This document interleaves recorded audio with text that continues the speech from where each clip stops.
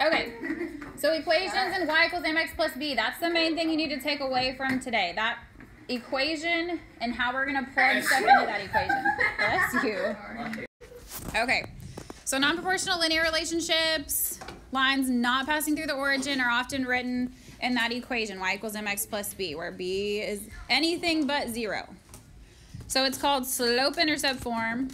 And when an equation is written in this form, m is your slope. So I'll write a little bit bigger. M is your slope. That's what you guys have been finding for the past like week.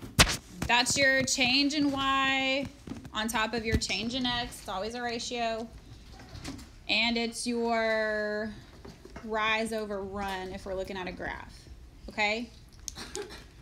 And so the B represents your y-intercept.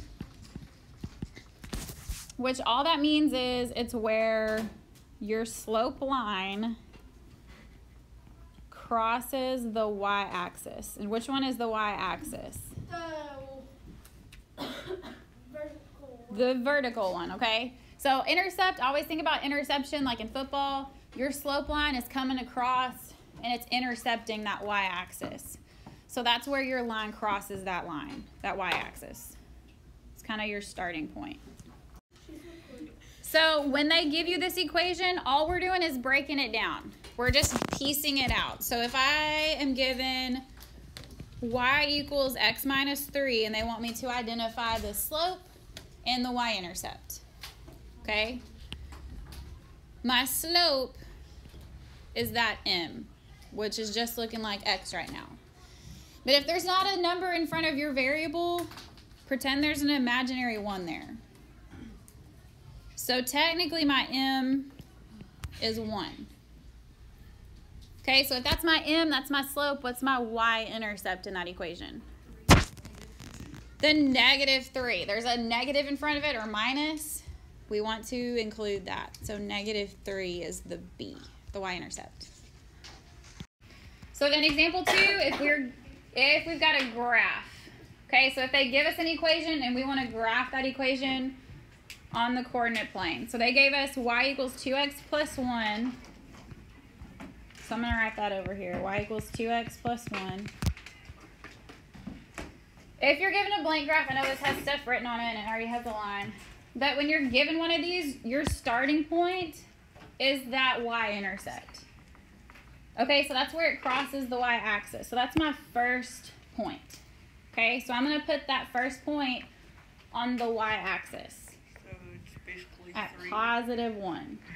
So it's just Okay, because that's where my line is going to cross the y-axis. It's at positive 1. So that's my first point. Okay? From there, I'm going to use this slope, which is 2. But remember, slope is always rise over run.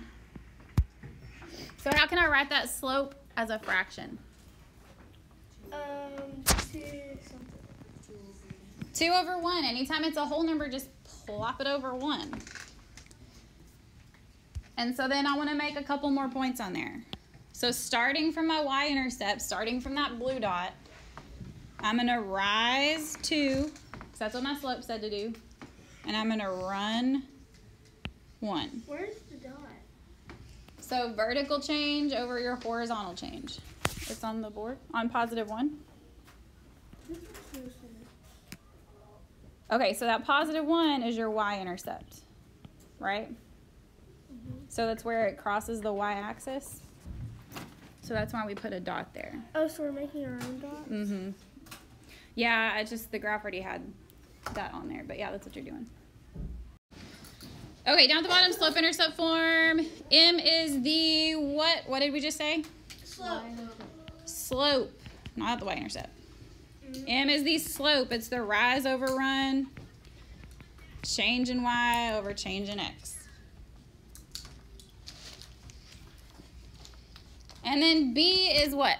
Y-intercept. Y-intercept. Where your line crosses the y-axis.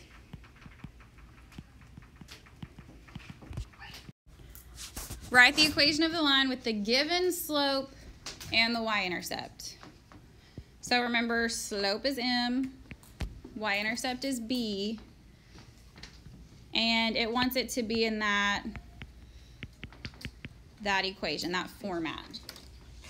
So what's that going to look like if I plug those numbers in? y equals, Negative two plus. I mean, x good, negative 2x plus five. Plus 5, because it's a positive 5 I got. So that's all you're doing, plugging those things in. As long as you know the x and the y, that's always part of the equation. The things you plug in for m and b. m for slope, b for y-intercept. Number two, same thing. I got my slope m and my y-intercept b. So if I plug those numbers in, Point seven five x. y equals, you could do 0.75 or you can keep it 3 fourths x since it's slope. You want to rise over run? So 3 fourths x, what else? Minus 30.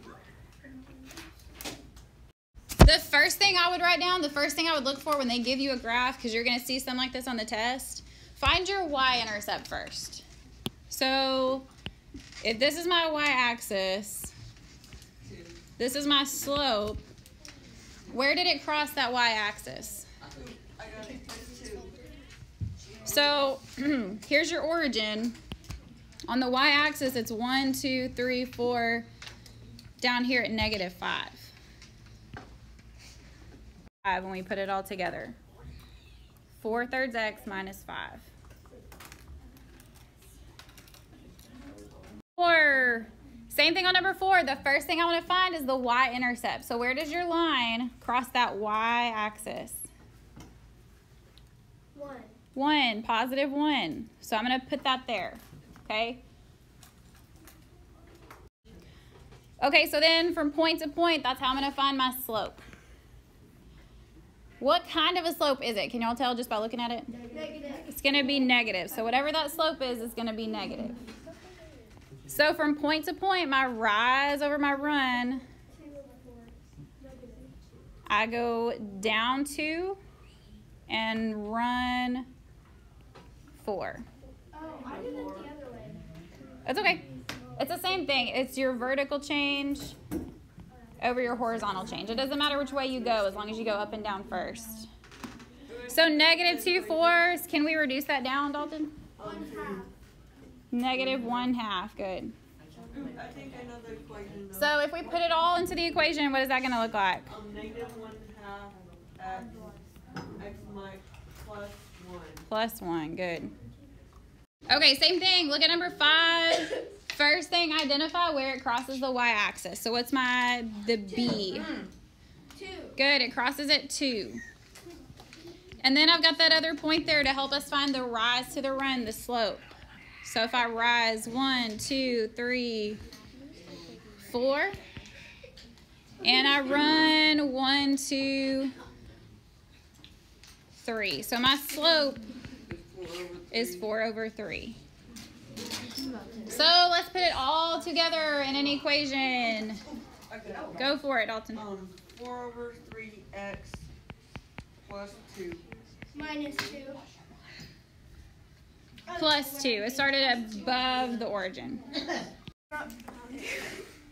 And then look for more crosshairs. I can put one here Crosshairs.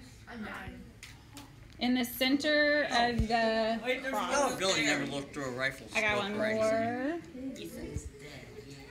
Oh, there's one And the then- the. Where they hit the One line. last one. Which one's? Okay, so if I've got my points, I'm gonna pick two that are close to each other and find that slope. Find that rise over run. So Katie, what'd you get?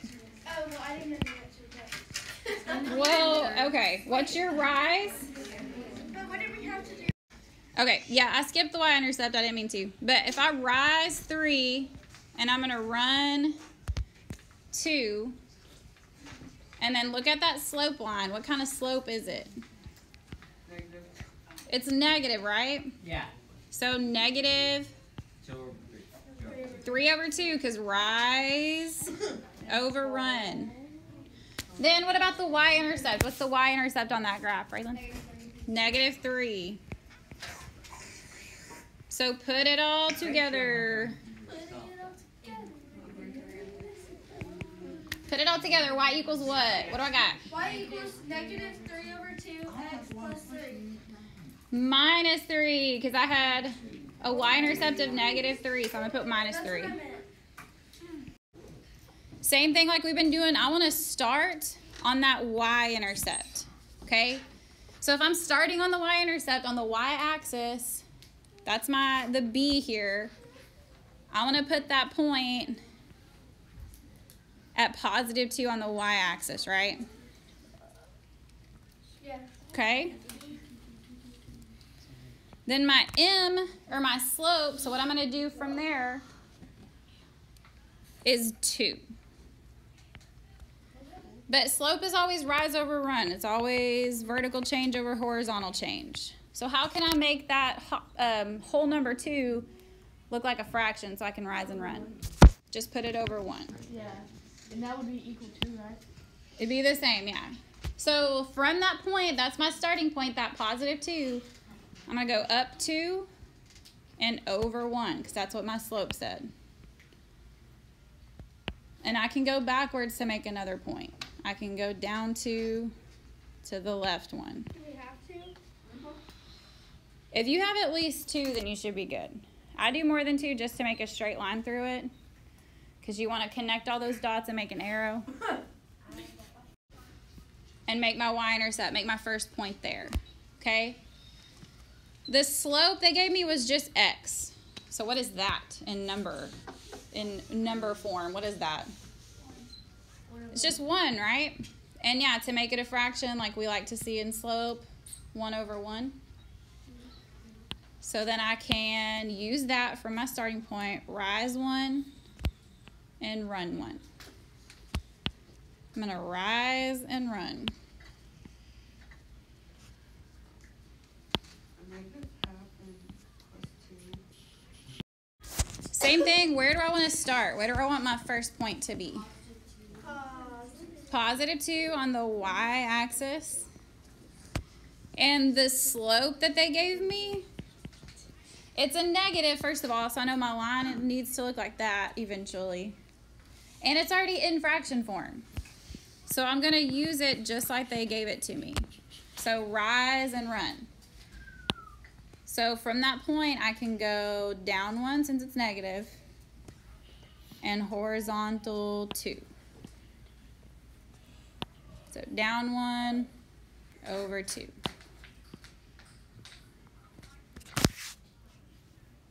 Ooh,